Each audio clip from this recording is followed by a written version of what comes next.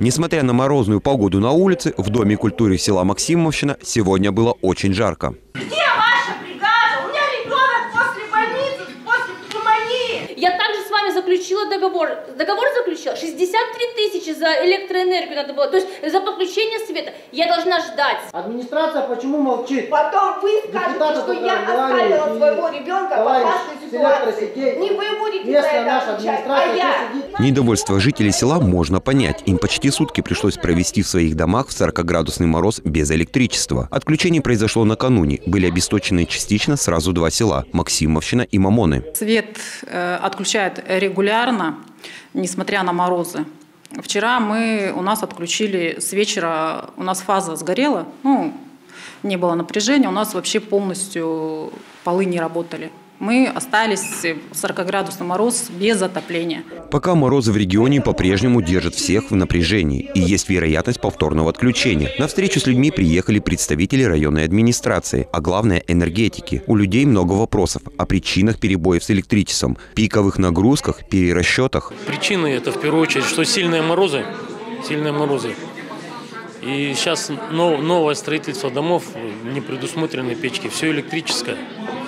Ну и за счет этого электрическое, ну не, не вытянули трансформаторы. В селе ежегодно, как грибы после летнего дождя, вырастают новые дома. Вот только электроподстанции не рассчитаны на такое активное заселение и нагрузку. Пройдя по одной из новых улиц села Максимовщина, вы не увидите ни одного дымохода, так как дома здесь куплены в основном в ипотеку, а условия кредитования не позволяют установку твердотопливных котлов.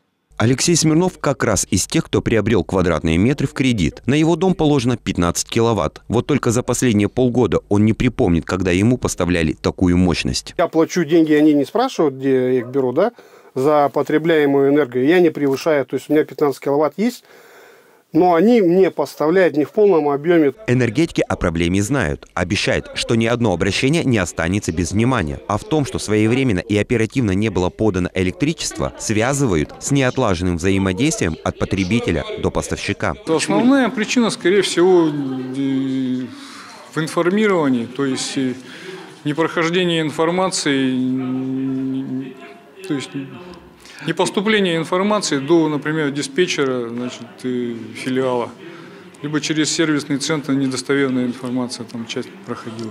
Все собранные предложения жителей будут обработаны и представлены главе региона в виде конкретных планов для дальнейших их реализации. Будет э, план вырабатываться по, наверное, скорее всего, уже летний, в летний сезон. Это подстанции новое строительство и замена трансформаторов. Самое главное. Сегодня выездная группа работает в Марково, в пятницу по плану Грановщина и соседние деревни – Карлук, Мигет, Хомутово, Куда и Моты. О каждой встрече жителей проинформируют заранее. Кроме того, энергетики напоминают, что получить достоверную информацию об отключениях можно на официальном сайте поставщика. Виктор Амзакин, Юрий Рябчиков. Новости сейчас.